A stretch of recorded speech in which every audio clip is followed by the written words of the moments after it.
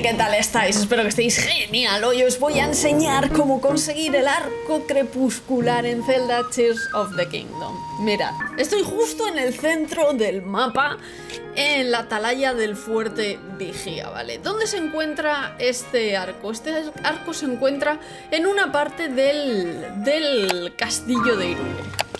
Y la mejor forma de acceder es tirarse desde esta atalaya hacia el castillo.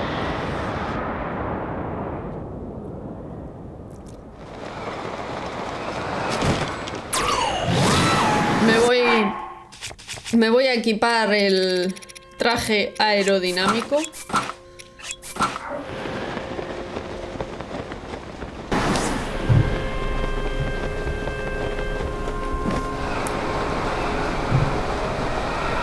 Vamos a usar un poco de el traje aquí para tirarnos, que ya estamos aquí casi. Mirad. En lo que es la torre, veis que tiene un petardazo ahí y que ahí hay un arco. Pues bien. No tiene más que llegar hasta aquí y conseguir el arco crepuscular. Ha pertenecido a la familia real durante largo tiempo. Se dice que lo usó la princesa que combatió a los monstruos del crepúsculo. Dispara flechas certeras de gran alcance. Vale, y como obviamente estoy sin hueco,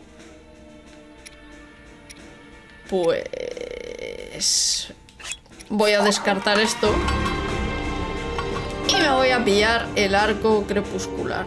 Miradlo. Qué chulo, ¿eh? Muy chulo. Y si ya hacemos así...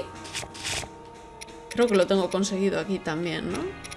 Igual en esta cuenta no lo tengo. Sí, sí lo tengo.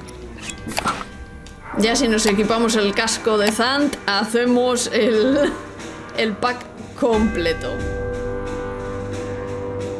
Así que nada chicos, espero de verdad que os haya servido de ayuda este pequeño vídeo. Si es así, solo, solo si es así, déjate un buen me gusta. No olvides suscribirte al canal o seguir viendo vídeos eh, por aquí, ¿vale? Eh, puedes también unirte para apoyar el canal con todas tus fuerzas.